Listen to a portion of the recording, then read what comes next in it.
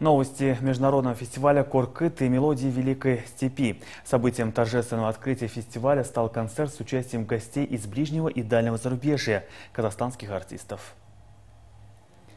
Кобыз занимает особое место среди музыкальных инструментов. Его звучание имеет лечебное свойство, играть на нем не каждому дано. Требуется огромный труд для овладения игрой на этом инструменте. Кобыз – прародитель скрипки. В концерте соединили звучание этих двух родственных друг другу инструментов. Маэстро Аль-Хуат Хасхабаев и Айман Мусухаджаева пошли на этот смелый эксперимент и сыграли күй Ахсаккыз «Хромая девушка». Это красивая легенда о хромой девушке, которая преодолела тысячи километров, чтобы услышать музыку Куркыта.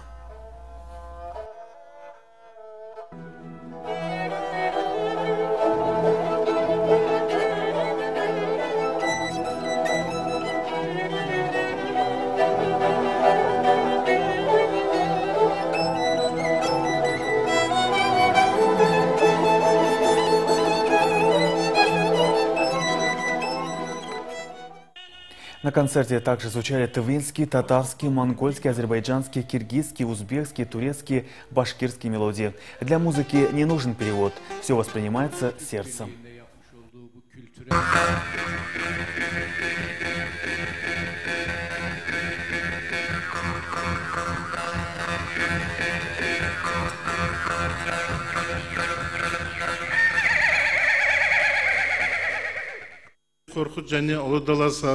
Закономерно, что фестиваль традиционной музыки «Куркыт» и «Мелодии Великой Степи» проводится на родине выдающегося предка. Отсюда берет истоки наша культура. В период духовного возрождения большое значение имеют такие мероприятия, которые сближают братские народы.